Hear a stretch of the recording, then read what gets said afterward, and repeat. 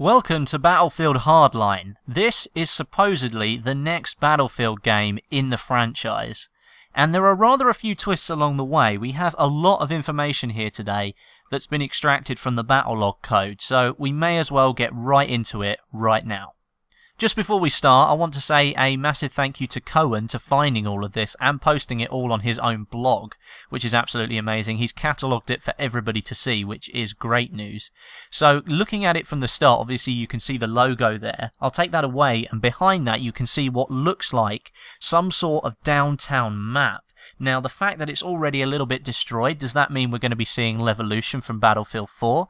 What does that really mean? But at the moment, we can see there's going to be some urban warfare in this game. Next, here are two symbols for two of the factions that could possibly be included in this game. One labelled SWAT and the other one Thieves. Now, this ties in with a lot of rumours for Battlefield Hardline that this is going to be a police or SWAT focused shooter. Now, those no those names right there fill that gap perfectly. Now, coming along with those, we have four different factions.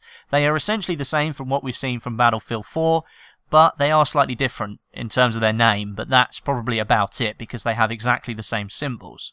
We have the Medic class, which is renamed to Operator. We have the Mechanic class, which is Engineer.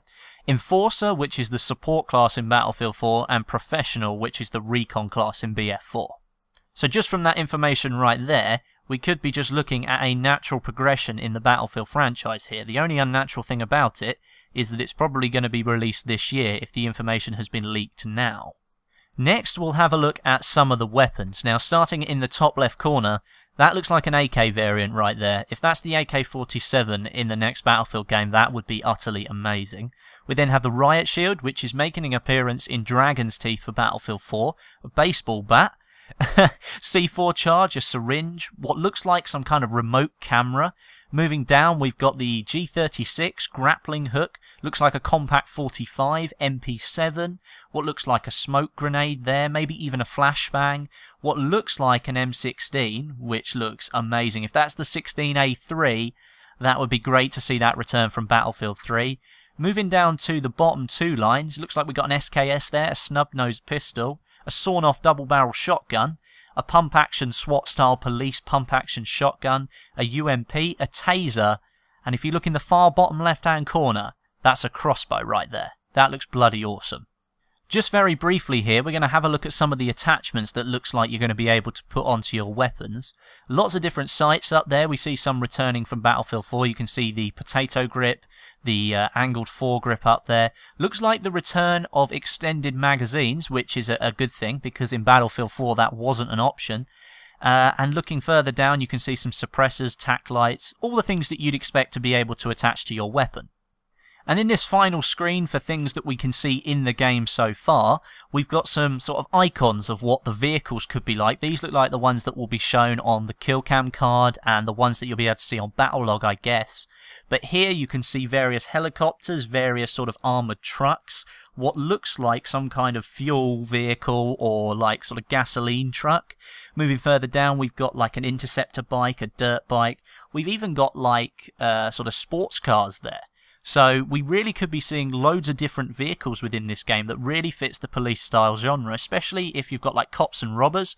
They're going to be using sort of like fast cars to get away and things like that. So it really does fit the theme right there. It really does set the scene for what we could be seeing later on this year. And the last bit that I wanted to show you today is this right here. That says Visceral on it. Now, it's been a rumour for a while that Visceral are going to be making the next Battlefield game, and that all but confirms it. We can't really say if this is true. I mean, most of the things that have been found have been put in since the recent Battlelog update, but none of it can be taken for complete 100% for sure right now. Most of this will probably have to be taken with a pinch of salt, because all of this could change, they could just be placeholders, who really knows what they're for. I mean, they seem to have their own individual art style, and it would be great if Visceral were making this game. They would put their own stamp on it, I think. I don't think it would really be like a DICE Battlefield game. And I think that puts in a little bit of competition within the franchise there, because we know that DICE can make a really good shooter. And they kind of lost their way a little bit with Battlefield 4. It didn't really go down as they expected. Maybe it was time for another developer to step in, take the realm, and maybe take the franchise in a direction that DICE wouldn't have been able to take it. Maybe this is a good move for the franchise. Maybe moving into a police themed genre really is something that we were looking for, something a little bit fresh, something a little bit different. Who really knows?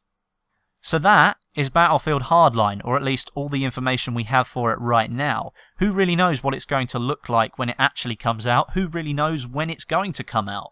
I mean, it could come out at any point in the future. The fact it's been included in Battlelog means there's some real intent behind what's going on here from Visceral, but at the moment, it's all rumours, so who really knows? But anyway, thank you very much for watching today, guys. If you did enjoy the video, could you please hit like on the video today? That would be great so other people can see this kind of information. And make sure you leave all your comments down below today. I want to know exactly what's going on in your heads about this big leak that's happened today. But until next time, my name is Westie, and I'll catch you guys in the next video.